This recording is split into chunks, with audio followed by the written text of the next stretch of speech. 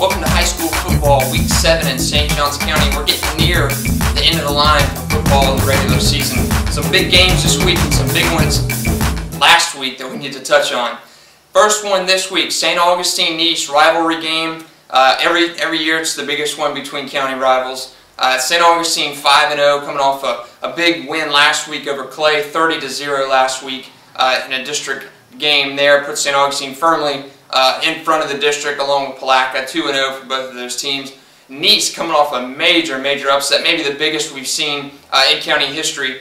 A 28-22 loss to Ridgeview. Ridgeview is a team that Nease has handled. When I say handled, 203 to 9 in the last few meetings. Have not even been competitive in those games. And Ridgeview comes out pulls a big, big district win there. That's a stunner uh, in control the whole game against Nease. Uh, something we have not seen Nease playing from behind uh, the last few years. And now uh, this St. Augustine Nease game kind of shifts from being a rivalry, uh, you know, all for show, to a big one for Nease as far as making the adjustments for a big week, uh, a week eight game against Lake City, Columbia. Columbia, uh, as you may or may not know, is coached by former Nease coach Craig Howard, and that game right there becomes a survival game right there for Nease. They win that one, they still have a pretty good shot at making the playoffs. They lose next week, they're done. So no, uh, no state championship uh, fourth appearance for Nease if that one, uh, if that one falls through. So the shift, uh, the shift becomes this week.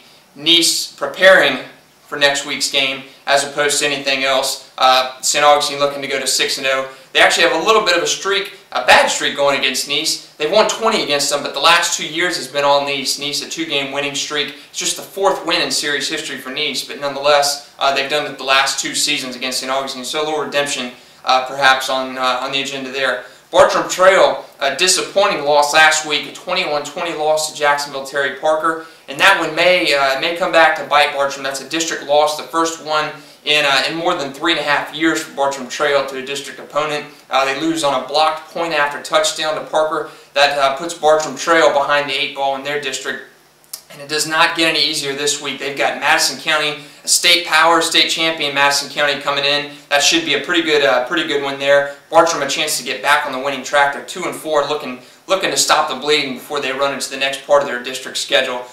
St. Joseph uh, at home again against Pearson Taylor. Both those teams one and four. St. Joseph virtually eliminated from the playoff chase, so they're uh, really just looking. They're playing for pride at this point. A big chance to get a win uh, Friday night against Pearson Taylor. Menendez five and one. They go to winless Middleburg. Middleburg 0 and six. Uh, should be an easy win for uh, for Menendez. They did struggle in that game last year, lost 20 to 10. Uh, but Menendez playing for uh, playing for really the future now. Um, They've got two big district games the next couple weeks, so this one, uh, like Nease, is really a chance to fine-tune for what's coming in store. Uh, Menendez at, uh, excuse me, host Palatka next week, and then they'll wrap up with a uh, week uh, 10 game against Clay. Sandwiched in there is a game against Port Orange Atlantic. Should not be a big problem there.